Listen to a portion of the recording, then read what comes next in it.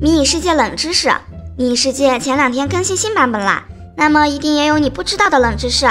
第一个，相信大家都知道野萌宝是会自己打开开关，哪怕是冒着生命危险也要打开那个开关。那么问题来了，你们还知道有哪些怪物是可以打开开关的吗？没错，就是新更新的沙漠版本里的蝎子。蝎子的用处可就比野萌宝大多了呀，简直全身都是宝呀！蝎子尾巴、蝎子壳，还有它的毒囊。都是一个个的大宝贝，它们不但可以合成盾牌，还可以合成一些武器。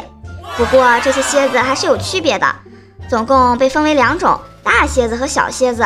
不过糖糖发现，大蝎子是不会伤害人的，只有小蝎子会伤害人啊。那么回归正题，蝎子会打开开关这件事，我真的怀疑蝎子和野萌宝是八竿子打不着的亲戚，哈哈哈！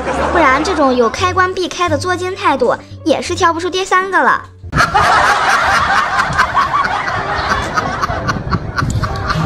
第二个，众所周知啊，迷你世界各大 BOSS 在自己的领域里都称王称霸。那如果他们同时都出现在沙漠里，他们会怎么样呢？那我们一起试试吧。我们用工具模式，把除了沙原领主之外的所有 BOSS 集结在沙漠上，他们会攻击我们吗？答案是不会。当然，如果我们在沙漠中和这些 BOSS 一起等待沙原领主，到最后被攻击的也只能会是我们。第三个，大家都知道迷你世界更新后出了很多新的武器，那么你们知道分别都有什么吗？首先就是新出的两个盾牌，第一个就是由蝎子壳做成的简易版的盾牌，使用盾牌后我们可以抵挡生前百分之七十的伤害，是不是感觉到安全感满满啊？第二个就是简易版的升级版。这个盾牌在原本的基础上增加了蝎子的尾巴，这样它不但可以防守，还可以产生对生物的攻击。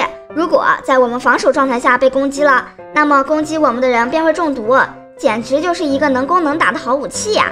接下来的 就是沙之咆哮，它是靠击败沙人领主获得的。在击败沙人领主后，我们就有机会获得这个沙之咆哮。它射出的每一个子弹就是一个沙子。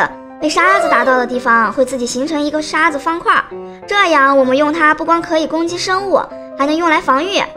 你还知道哪些关于新版本的冷知识呢？快在评论区告诉糖糖吧！